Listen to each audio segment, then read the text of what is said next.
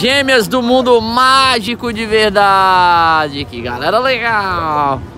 Qual desses colares lindos vocês acham mais bonito? Esse aqui, ó. É verdade, esse aí também. Colar lindo. Quem nasceu primeiro? Ela. Quem é mais inteligente? Eu. Ah, Tudo que uma pensa, a outra pensa também? Às vezes. E os sentimentos? Muito é muito igual. Namora o mesmo cara? Não, mas a gente tem o mesmo gosto de cara. O mesmo gosto. E, e, por exemplo, uma já pegou o cara e a outra também? Ah, é direto. É? E E uma já deixa pegou ele. o cara enganado? Vai melhorar, o cara já pegou você enganado? Já.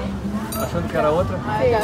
Mas vocês realmente são muito parecidos. Não, é não. Não tem nenhuma pintinha pra Tem definir. aqui, ó. Não, Eu pensei que era maquiagem. Não, mas quem não conhece não nota. Eu achei que você tinha passado uma maquiagem azul. não, de nascença. Que lindo! E o que vocês fazem de bom? Não nada, a gente só fica andando aqui. Não, não? Eu vou dar um presente pra você. Aumenta o cano 5 vezes. Um anel de fada mágico ultra estrelar. Que dedo legal! Qual que é o signo?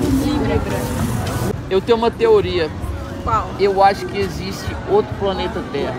Porque se existe gêmeos na Terra, existe um planeta gêmeos com a Terra. Ah, com certeza. E um, e um planeta trigêmeos. E um planeta quadrigêmeo. Que anel legal! Vem, vem, vem, vem, vem! Para multiplicar os seus poderes de fada. Oba! Tô muito feliz um anel mágico ultra estrelar.